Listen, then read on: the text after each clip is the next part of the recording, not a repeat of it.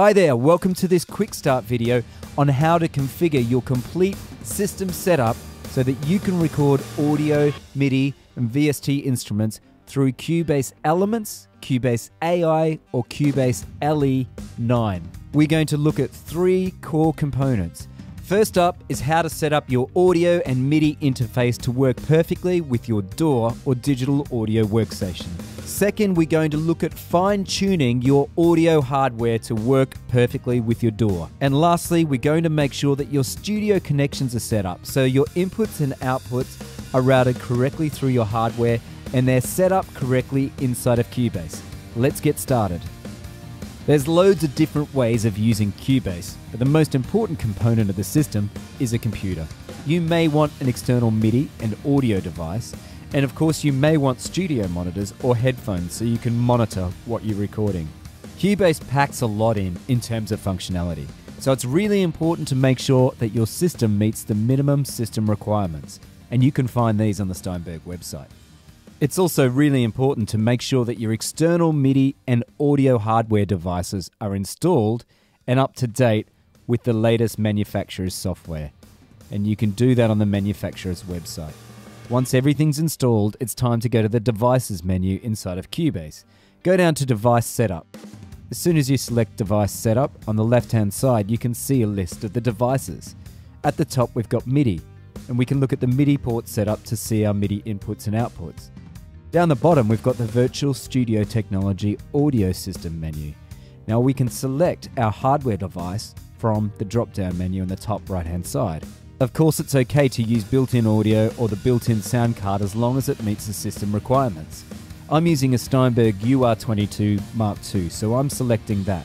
Below the device's drop down menu, you'll be able to see the input latency for your selected device. I'm selecting my audio device, going to the control panel, and now I can choose the buffer size. Now this is important because the lower the buffer size, the less latency you're going to get. But perhaps you're going to get clicks and pops because your computer can't process all of the audio fast enough and put it out again to your audio device. So it's important to find a balance here. I'd suggest using as low buffer size as possible for audio recordings and then move it up to the highest possible setting for mixing because you're going to need more processing power to power up all the plugins. It's really easy with the Steinberg hardware because it has direct monitoring, so your audio doesn't pass through a computer loop. You're monitoring directly from the hardware itself, so you can instantly hear whatever you're recording. Let's go up to the MIDI port setup and have a look at the MIDI setup. Now there's two MIDI interfaces available here because I've got a built-in interface on the Yamaha Reface CS, but I've also got a MIDI interface on my Steinberg hardware. I'm not using that, so I can turn off the visibility for that device. And that means it won't show up as an option for my project. And you can see that because when I add a MIDI track, name the MIDI track, and select Add Track over on the left hand side, my Steinberg interface is not there, so that just makes it a little less cluttered. I can also go to the MIDI output routing and select which device I want my MIDI data to be sent to. So in this case, I might select my Yamaha Reface CS. You can also do exactly the same thing for your audio hardware. So if you've got multiple inputs and outputs that you don't want to see, you can make them inactive by checking the box next to the input or output channel. Once you've got your audio hardware devices installed and you've got them selected from the audio device setup menu, it's time to go and specify the inputs and outputs for your audio hardware device. And you do this in the VST connections menu. In the VST connections window, you can see that we've got an input and outputs tab at the top. Now to keep this simple, all you're going to do is make sure that your input connections and your output connections match exactly what you're inputting and outputting on your audio hardware device. Input is what happens when we record audio into the computer. The device turns it into computer language. Output is what happens when the computer sends the information back to the audio output device and it goes to our monitors or our headphones. If you've got more inputs than you can see on the VST connections window, you can add a bus. You just need to choose whether it's mono, which is one input, or a stereo, which is two inputs.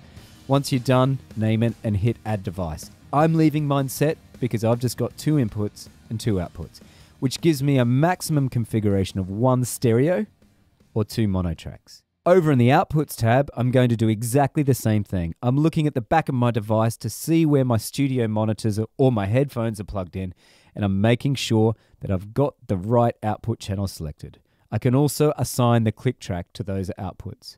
Let's go over those three important steps again. First of all, device is set up and we've selected our audio hardware device. Then we've gone to the control panel, we've made sure our buffer setting is right. Next up, VST connections and we've made sure our inputs and our outputs are correctly set. We're all set up and we're ready to start recording.